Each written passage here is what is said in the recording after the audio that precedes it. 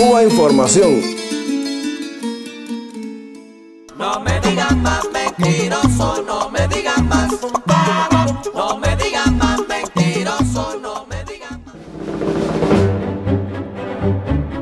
Hace unos días todos los grandes medios españoles hablaban de Amnistía Internacional. ¿Mencionarían alguno de sus informes sobre torturas en España tradicionalmente censurados? Evidentemente no. Eran unas declaraciones sobre Cataluña. Sobre el encarcelamiento de los exconsejeros y de los líderes de las entidades independentistas se ha pronunciado Amnistía Internacional. La organización defensora de los derechos humanos dice que no se les puede considerar presos políticos porque están acusados de actuaciones que pueden constituir un delito. Curioso, Amnistía Internacional no considera presos políticos a quienes en Cataluña han sido encarcelados por su acción política pacífica, porque esta, asegura, puede ser delito pero sí a quienes en Cuba violan leyes análogas a las existentes en todos los países. El Código Penal español, por ejemplo, castigaría a algunos de los llamados disidentes cubanos a un mínimo de cuatro años de cárcel por mantener relaciones de inteligencia o de cualquier género con gobiernos extranjeros para perjudicar la autoridad del Estado o comprometer la dignidad o los intereses vitales del país tal como dice su artículo 592. Recordemos que los grupos disidentes cubanos son apadrinados por el gobierno de Estados Unidos, de quien reciben entre 20 y 30 millones de dólares cada año. Algunos, como las Damas de Blanco, Cubalex o la llamada Comisión Cubana de Derechos Humanos, aportan la información con la que después Amnistía Internacional elabora sus informes sobre la isla. Por ello defiende con vehemencia que la potencia que bloquea a Cuba pueda financiar a quienes dentro de la isla sirven a sus intereses políticos. Los defensores y defensoras de derechos humanos que reciben financiación extranjera, especialmente estadounidense, son estigmatizados, nos dice Amnistía Internacional en tono de denuncia, y añade que las limitaciones a la financiación extranjera en Cuba son contrarias al derecho de asociación. Todo esto lo leemos en el último informe de esta organización, titulado Cuba es una prisión mental, y que al contrario que sus escritos sobre Estados Unidos o España, sí ha sido noticia internacional. Un informe contaminado de raíz.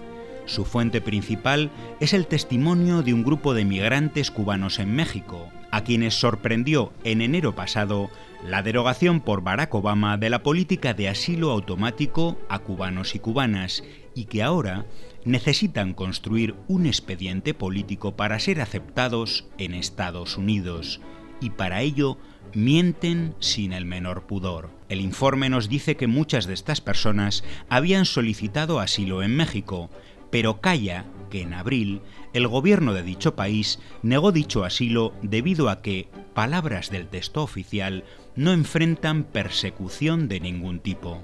Amnistía se suma a la tradicional politización de la emigración económica cubana que realiza el gobierno de Estados Unidos, con argumentos subjetivos e indemostrables. Nos dice que estos migrantes se sentían agobiados y asfixiados en Cuba, porque allí las limitaciones de derechos humanos son tan asfixiantes que les hacen ver la salida del país como única opción. Decenas de miles de cubanos y cubanas siguen abandonando el país, añade, como si los movimientos migratorios en la región fueran algo exclusivo de Cuba. Y repite argumentos que parecen sacados de una nota del Departamento de Estado. La emigración cubana se debe, leemos, a factores como la cambiante diplomacia internacional cubana o la férrea red de control de la libertad de expresión. Amnistía acusa al gobierno cubano además de criminalizar la emigración económica. Los cubanos que tratan de abandonar el país son estigmatizados por el Estado que los califica de desertores, traidores y contrarrevolucionarios, leemos una muestra de cómo esta organización está completamente fuera de tiempo. Hoy, la emigración cubana en todo el mundo realiza encuentros en los que participa activamente el gobierno cubano, el último de los cuales se celebró precisamente en Washington. El informe señala que la mitad de las personas entrevistadas habían sido detenidas al menos en una ocasión en Cuba, aunque muchas no habían criticado nunca el sistema. Nada que impida a Amnistía Internacional encontrar una raíz política a su encarcelamiento. La fuerte intrusión que sentían de la ley penal en sus vidas cotidianas limitaba estrictamente sus derechos. Leemos. Así, alguien que abrió un negocio de comida denuncia la represión del gobierno porque había recibido varias inspecciones muy seguido o porque su establecimiento había sido multado. Leemos además que en Cuba se subordina en la práctica a la ideología de Estado el derecho universal a la libertad de expresión. ¿Y en España, Colombia o en cualquier Estado capitalista? Información y opiniones en los grandes medios, propiedad de una ínfima minoría con capital, ¿no son subordinadas a la ideología imperante?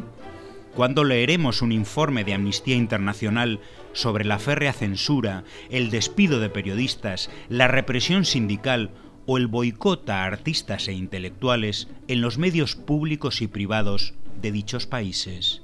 El texto asegura asimismo que en Cuba se produce discriminación laboral por opinión política. Pero, ¿cuántas personas en los países capitalistas deben ocultar sus ideas de izquierda para acceder a un empleo?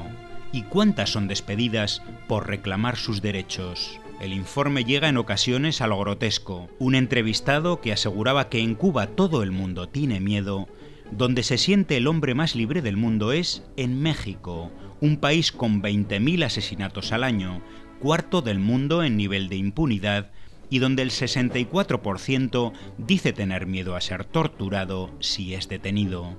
Así es como Amnistía Internacional, en su vergonzosa deriva, se convierte en instrumento funcional para medios y gobiernos occidentales, para los de España en su política de represión en Cataluña y para los de Estados Unidos en su obsesiva injerencia y agresión contra Cuba.